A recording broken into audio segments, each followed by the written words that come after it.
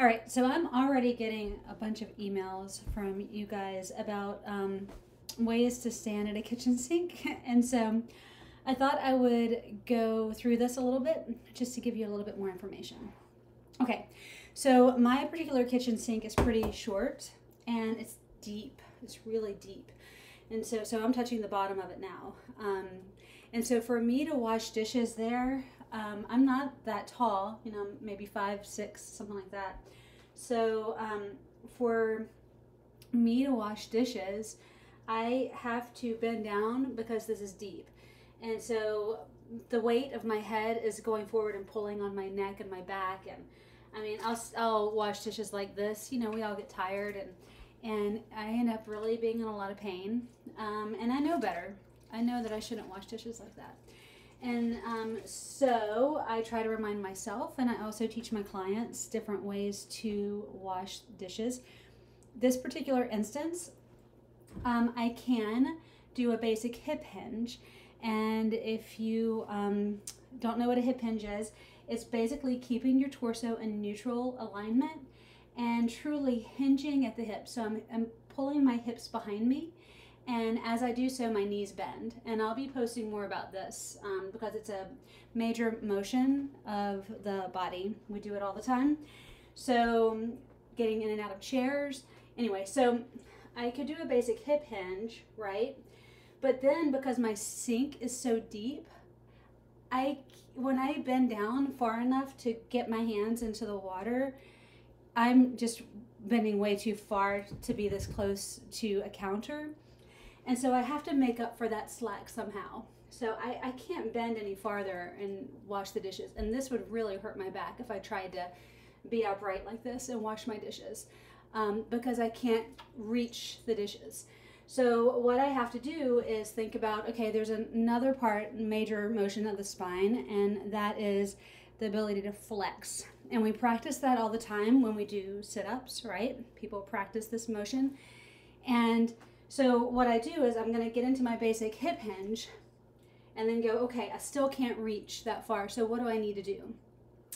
And so I'm going to do a basic abdominal flexion move to support the weight of my head. Because if I'm here trying to work and I can't reach forward, I'm going to start dropping my head down. And so I don't want that to happen because all the weight goes into my neck. So to not do that, I'm going to flex my torso to support the weight of my head as I'm washing my dishes. And so I do have a little bit of flexion going on there with that hip hinge. Now, if I were, um, if I had a sink that were higher or a sink that wasn't as deep, this would be the best position to wash my dishes. Just a slight bend. And if I were shorter, I wouldn't have to worry about that.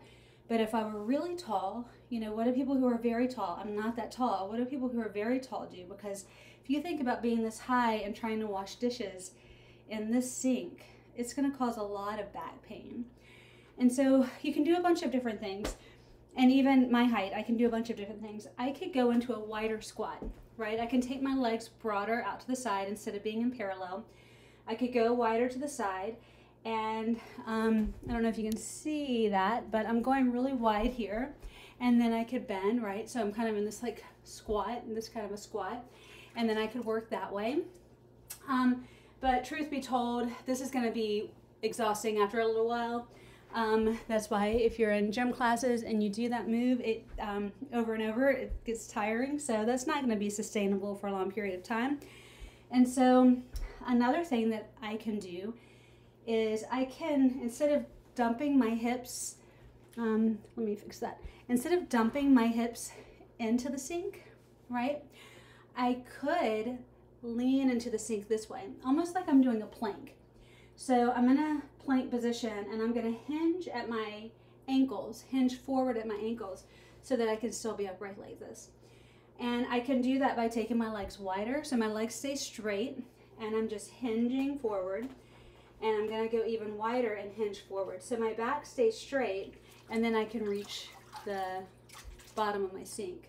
And so truth be told, I actually wash my dishes like this a lot with my legs in this kind of wide V position. And I'll show you that. And so my legs are sorry, this isn't the best view, but I have my legs in this wide position and I'm hinging forward at my ankles in this plank position. So I'm resting here and then I'm able to wash my dishes. So um, I tend to encourage people to go through a variety of movements when they're doing anything because just being stationary all the time isn't good either. And so you want to try to maybe, you know, maybe I'll start off by bending and maybe putting my elbows here and washing my dishes like this. Or maybe I'll go into that wide leg stance and go into that forward position and wash my dishes like this. But any position is going to get, you know, tiring over time. And so you want to keep moving around and keep playing with it. Um, obviously, my sink or my um, countertop is low. So there's also all kinds of modifications that I'll do to bring my countertop higher so that when I'm cooking, it's not as much um, tension on my on my back and neck. Um, and computers and standing desks and the list goes on. Anyway, if you guys have any questions, just let us know. Um, it's what we do all day and we can answer those questions. We can look at your situation too if anybody needs private sessions so that we can help you figure out what's best um, for your situation. Anyway, thanks so much and I hope this answered the questions that I'm, I'm getting right now. Bye.